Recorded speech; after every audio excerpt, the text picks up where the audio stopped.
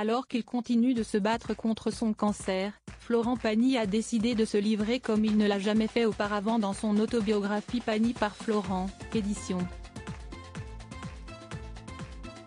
Fayard, sur les étals des libraires depuis le mercredi 5 avril.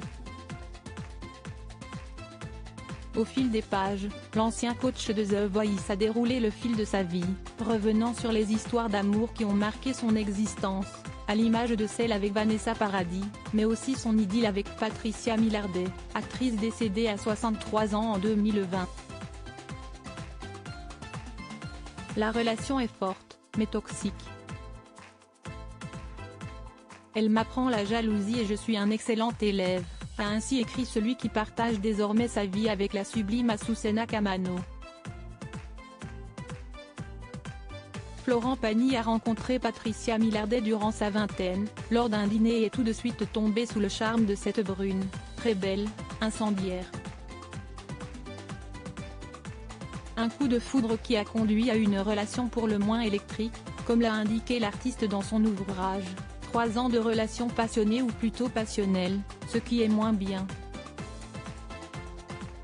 Et si le papa d'un cas, né en 1996, et Daël, né en 1999, c'est dirait de dingue de la vedette de justice impitoyable, le caractère extrême de sa belle n'a pas forcément aidé à la construction d'une relation saine, elle est tordue, incompréhensible, drôle, belle, insupportable, sexy en diable, attachante,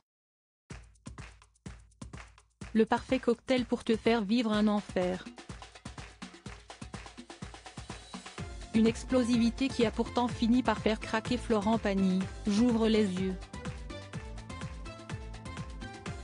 Et malgré ce que je vois, j'essaie encore de faire exister cet amour, car il n'est pas question d'autre chose. Mais c'est impossible, nous nous séparons après deux ans de plus à nous déchirer,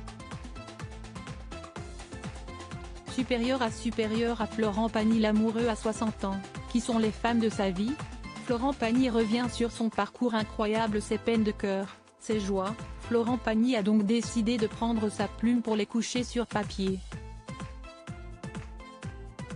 Une démarche évidente pour Isabelle Saporta, éditrice de son autobiographie. C'est un livre qui racontait son parcours,